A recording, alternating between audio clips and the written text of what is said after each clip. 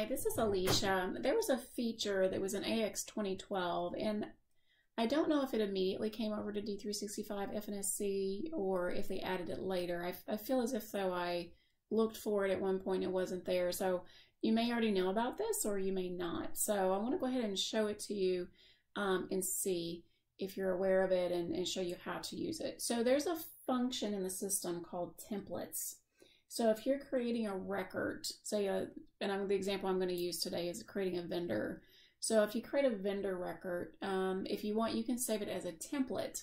So the next time you go to create a new vendor, it'll pre-populate fields on your new vendor record based upon um, the, the template. So that way you don't have to populate as many fields. So this template concept is throughout the system. I found that it works well in some modules and some and, and in some screens and not so well in others. So uh, feel free to check it out in the different forms. But let me show you how to use it.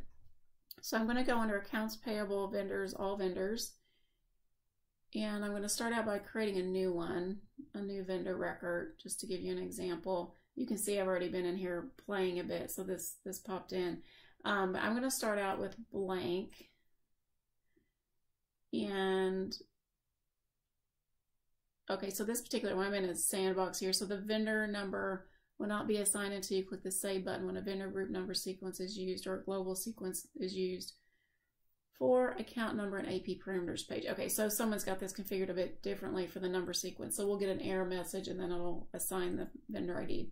Um, but the point is, when I'm in here, I'm going to create a new record and I'm just going to call it AK template 2 and then I'm going to give it a, a group and really anything you know I want to give it in here I can pre-populate you know these fields and again I'm just randomly putting numbers in here just so you can kind of get a, the idea um, behind it. So the point is, is again, I can maybe put the site in here, the warehouse. Typically you wouldn't do this on a vendor, but um, you, you obviously can. All right, so once I've done that, I save the record and go to options. Again, we're getting this message because of the number sequence thing. So, all right, so it's save the record. So this is record 79. And then under options at the top, I go into record info. And then I'm going to say use user template. Uh, you can also set up company account templates, but I'm going to do a user template here. And this is going to be, um, I'm just going to call it AK template 2, just as an example. And of course, you can put a description in there as well.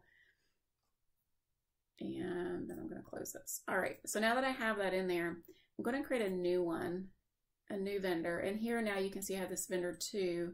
So I'm going to click on the vendor 2 and I click OK. And then I'll just call this AK3. So you can see the vendor group came in automatically. You can see that the credit rating, the credit limit, those fields that I kind of randomly randomly populated, the site, the warehouse. So if you're in a situation where you have pretty consistent data and you do want and you do want the fields to be pre-populated, um, all you have to do is create a template or you can save an existing record as a template. And then every time you make a new record, then you can pick the template you want and it keeps you from having to populate those fields manually. So I hope you found this helpful.